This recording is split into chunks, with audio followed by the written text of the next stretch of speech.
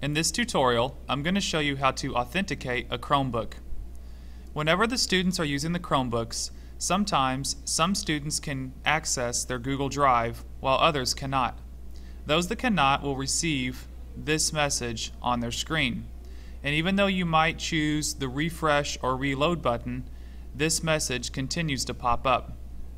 What you need to do is follow these steps. First, open up a new tab at the top of your browser. In the new tab, type in an address such as msn.com. Whenever you type in msn.com, you will see this message on the screen. In the upper left-hand corner, it will say currently logged in as unknown user, with the option in parentheses of saying not you. Please click on not you.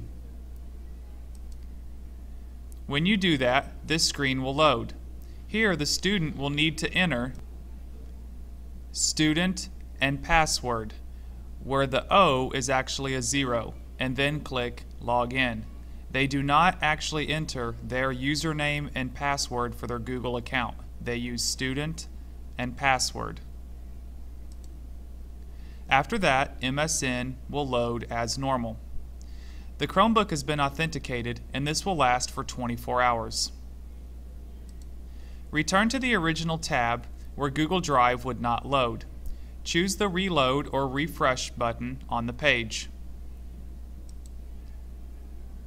After you do so, Google Drive will load. Again, remember, the re-authentication process only lasts for 24 hours. If you ever encounter the warning again, just follow these steps. These steps also work for pages that do not seem to be loading correctly. Look in the upper left-hand corner to authenticate the computer by clicking on Not You.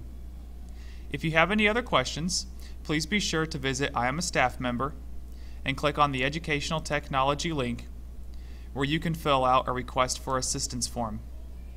Thank you and have a great day.